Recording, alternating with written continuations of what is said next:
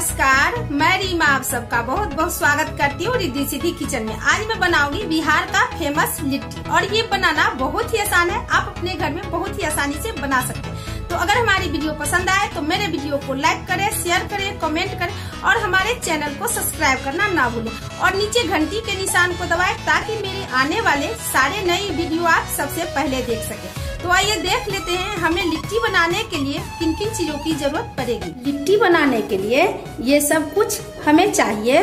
अदरक थोड़ी सी बारीक कटे हुए लहसुन, तीन से चार कली कटे हुए आम का अचार नमक खाबर सोडा, एक चौथाई चम्मच, छोटा साइज़ प्याज, बारीक कटे हुए, दो हरी मिर्च कटे हुए, आधा कटे हुए नींबू, और हमें चाहिए चना सत्तू, आधा कटोरा मैदा, आधा कटोरा, और तेल चाहिए हमें लिट्टी तलने के लिए।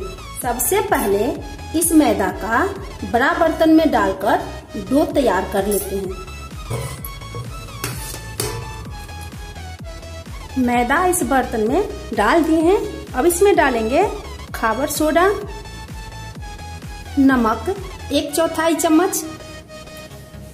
इसे अच्छी तरह मिला देना है।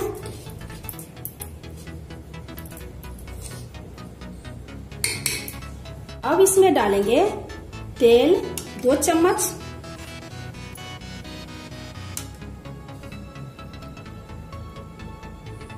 आप चाहे तो इसमें घी भी डाल सकते हैं। अभी सबको अच्छी तरह मिला लेंगे।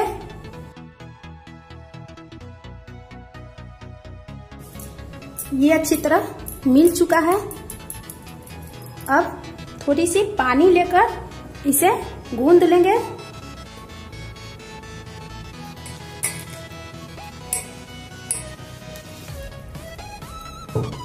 थोड़ी थोड़ी पानी डालना है।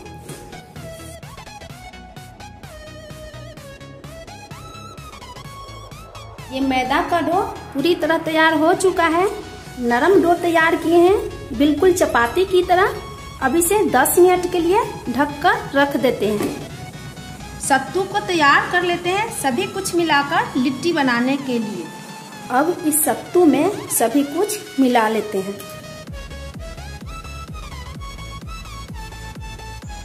बीज हटाकर नींबू का रस गार लिए हैं।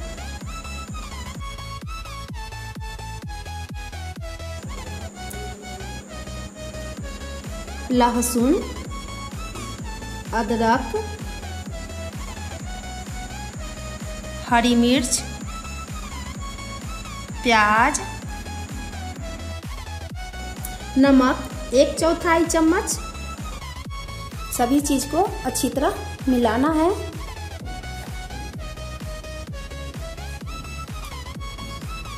अब इसमें डालेंगे अचार का तेल। मसाला अचार का?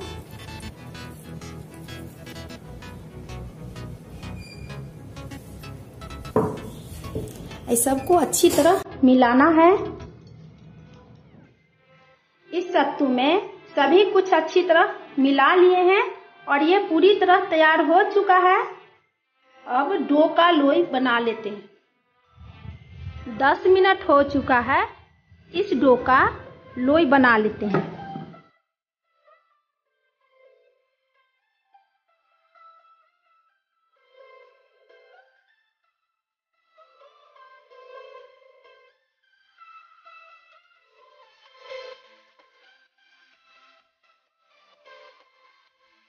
सभी लोई तैयार कर लिए हैं।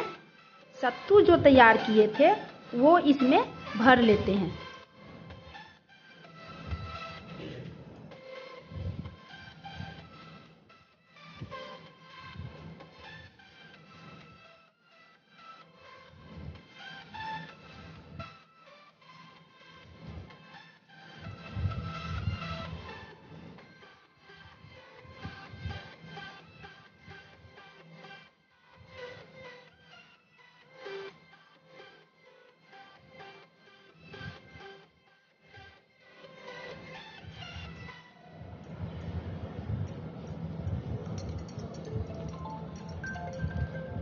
इसी तरह सभी लोई में सत्तू भरना है।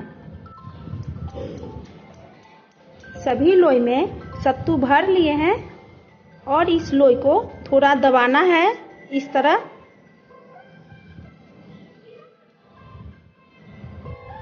अब इस सभी को छान लेते हैं, गैस पे कढ़ाई को चढ़ा देते हैं गरम होने के लिए। कढ़ाई गरम हो चुका है, अब इसमें तेल डालेंगे।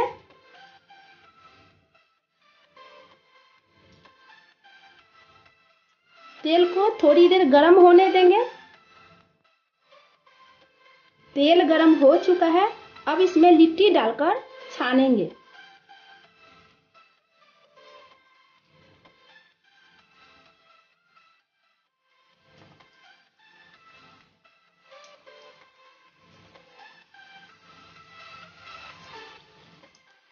फ्लेम को मीडियम रखना है।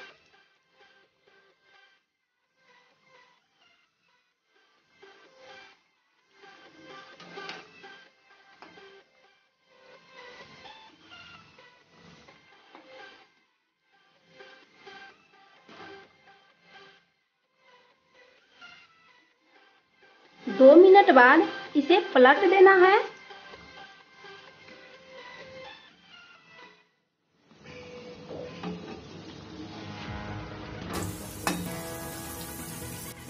इसी तरह पलट पलट कर पकाना है लिट्टी को।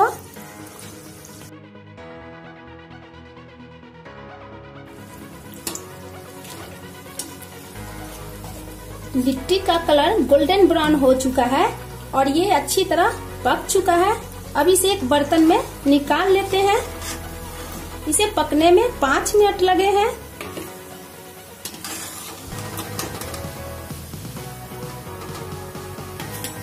इसी तरह सभी लिट्टी को छानेंगे।